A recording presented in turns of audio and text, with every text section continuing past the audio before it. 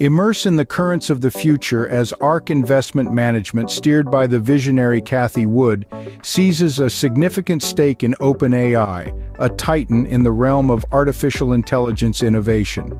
Touted as the vanguard of a Cambrian explosion in artificial intelligence capability, OpenAI is set to shape the AI landscape.